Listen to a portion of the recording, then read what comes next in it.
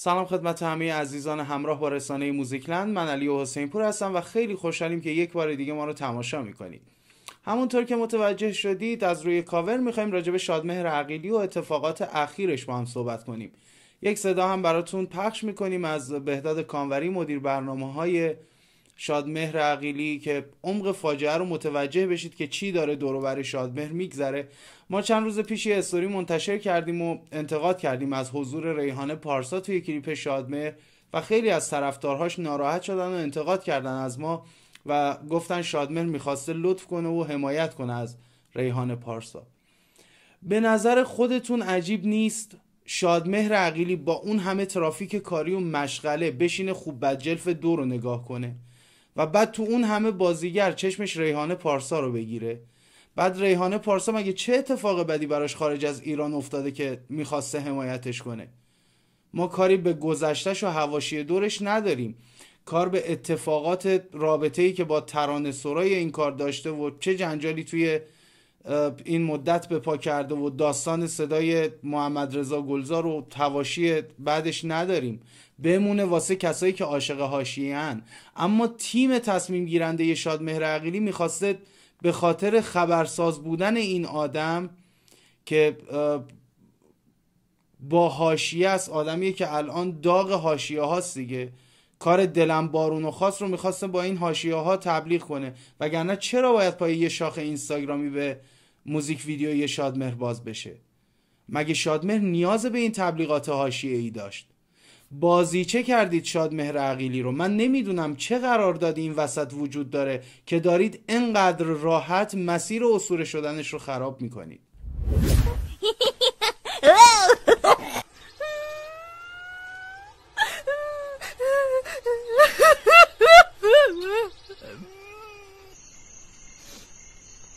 عجب دنیای نامردی.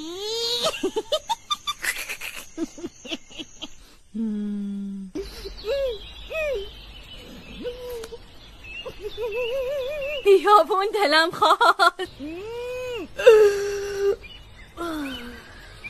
یه آروم دلم خواست. دلم بارون و خواست. بارون دلم خواست. من صدای بهداد کانوری رو براتون پخش می‌کنم که متوجه بشید عمق فاجعه تا چه حدیه و بفهمید که کیا شدن تصمیم گیرنده برای هنر شادمهر عقیلی. اما قبلش صحبت های عرفان سلیمی رو بشنویم. برگردیم خیلی مسائل روشن میشه. اگر مخاطب عام موسیقی هستید یعنی وقتی یک اثری رو گوش می‌کنید فقط میشنوید و ازش رد میشید و خیلی حالا براتون مهم نیست که چه ترانه و ملودی و تنظیمی داره یا صدای خواننده.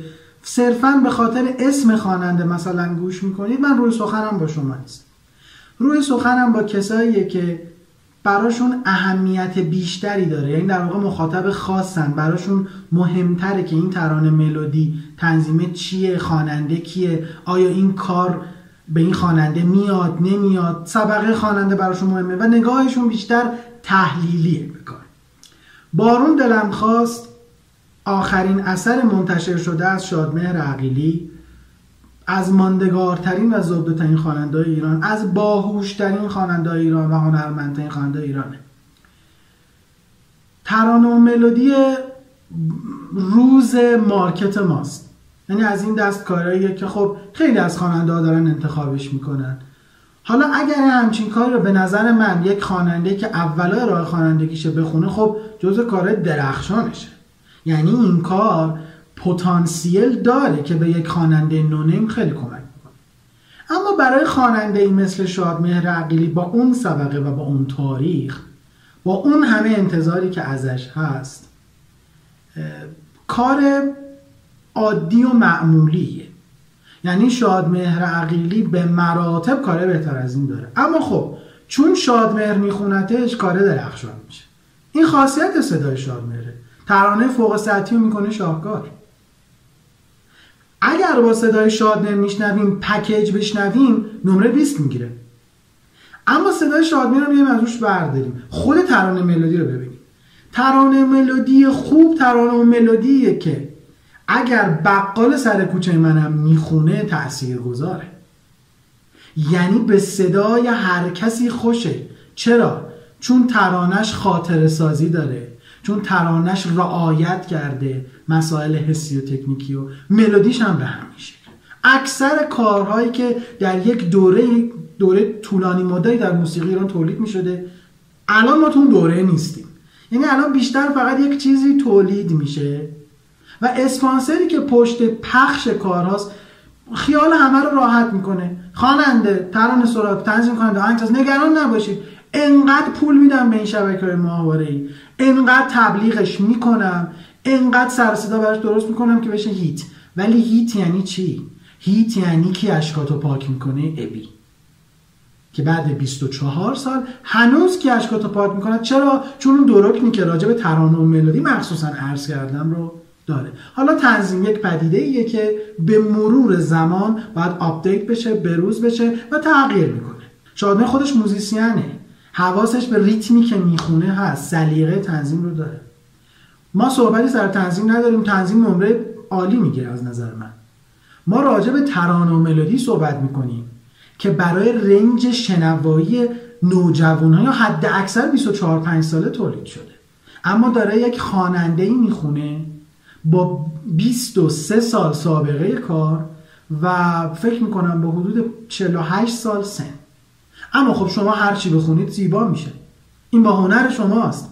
هنر شما داره کمک می‌کنه. یعنی شما دارین به این ترانه ساز ملودی سازه که کارشون برای صدای شما معمولیه کار اونا رو دارید خاص می‌کنید. این اسمش لطف نیست. شما باید بذارید تیمی که برای شما دارن کار انتخاب می‌کنن باید بذارن این آدم ها به یک لولی برسن بعد با شادمهر عقیلی کار کنن. همه جای دنیا همینه. مگر تک بارقه ها تک در واقع درخشش هایی که اولین یا دوم کار یه آدمیه که دیگه بعد از اونم تکرار نمیشه. این تا اینجا. حالا می‌پردازیم به اون قسمت تبلیغاتی کارتون. ببین آقای عقیلی به احتمال زیاد شما ریحانه پارسا رو نمی‌شناسید. معرفیش کردن به شما. تیمی که کار می‌کنید یا شاید رادیو جوانی که تک شده پایین اون پست. ریحانه پارسا الان خبر دارشه بیارش تو ویدیو نه. تو ویدیو شادمهر عقیلی نه. تو ویدیو یه آدم خیلی معمولی باید بیاد که اون آدمه رو بیاره بالا. خواننده حاشیه شما خواننده متنید شما خواننده ترانه فهمید شما خواننده ای هستین که موزیسیانی موسیقی رو می‌شناسید نوازنده درجه یکی نمی‌دونم چند تا ساز می‌زنید ریحانه پارسا رو نذارید به شما تحمیل شه. نذارید جوری بشه که انگار شما به ریحانه پارسا چسبیدید برای دیده شدن.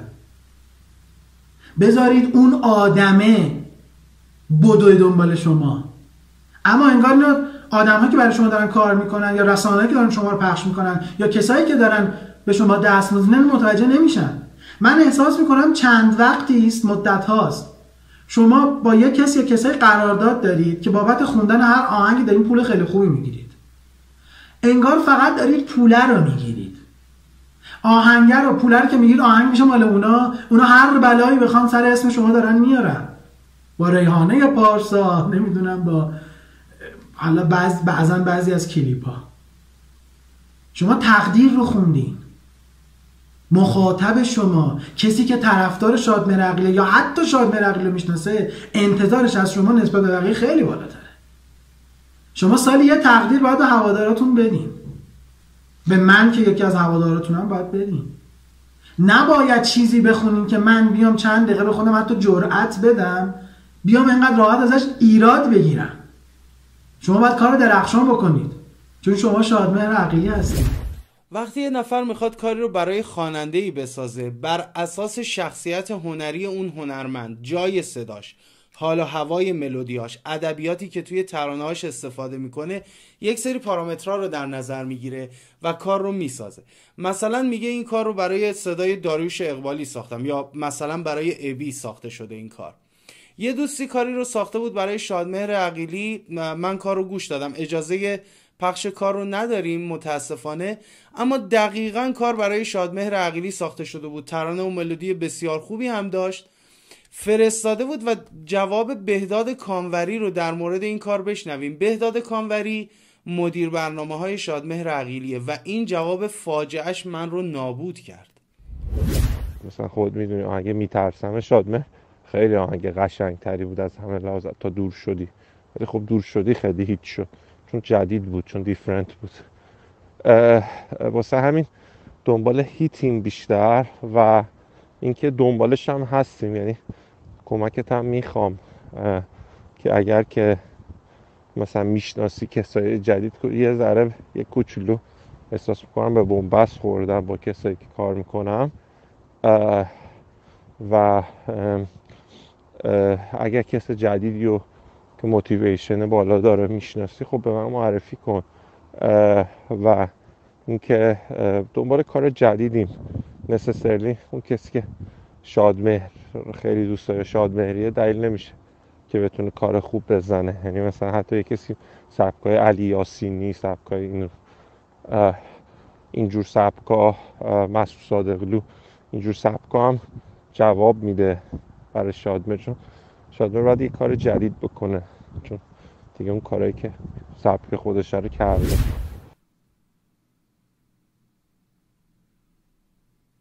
خواننده ای که صاحب سبکه. خواننده ای که خودش خالق کلی کارهای موندگاره. خواننده ای که الگوی چند نسل خواننده بعد از خودشه و بیشتر از 80 درصد کسایی که وارد این حرفه شدن یا به عشق صدای شادمهر عقیلی بوده یا برای تقلید از شادمهر عقیلی یا می‌خواستن بشن 10 درصد از شادمهر عقیلی کار توی سبک مسعود صادقلو و علی یاسینی باید بخونه. من کار به اونا ندارم اونا درجه یکن توی کار خودشون مثلا خوب یا بد دارن کار خودشون رو می‌کنن و کاملا هم برای بنده قابل احترامن اما اونا الگوشون شادمهر عقیلیه شما می‌دونی مدیر برنامه های کی هستی؟ شما عقبه شادمهر عقیلی رو می‌دونی و این تفکرته؟ با این تفکر معلومه که ته شادمهر عقیلی چی می‌تونه بشه به این نگاه می‌کنید شادمر هر چیزی می‌خونه همه تعریف می‌کنن. اگر کارهاش الان شنیده میشه فقط به خاطر مهر که توی صداشه. هواداری که از کار بارون دلم خواست حمایت می‌کنه یا نمی‌دونه شادمهر عقیلی چه رزومه ای داشته یا دشمنشه. خواننده آلبوم پر پرواز و مسافر و دهاتی کجا؟ چیزی که امروز می‌بینیم کجا؟ کارهای درخشانی که با بهروز سفاریان و محمد رضا چراغلی کرد که دیگه اصلا تکرار نمیشن اون که هیچی. ولی امروزش رو مقایسه کنیم با آلبوم طرفدار ببینید چقدر فاصله داره با اون روزا. انتخاب ترانه هاش چی بوده چی شده؟ شادمر کسی که ملودی ساخته 4 5 دقیقه آهنگ رو روی یه خط ساده بدون اوج و فرود اجرا کرده و هنوزم کار شنیدنیه.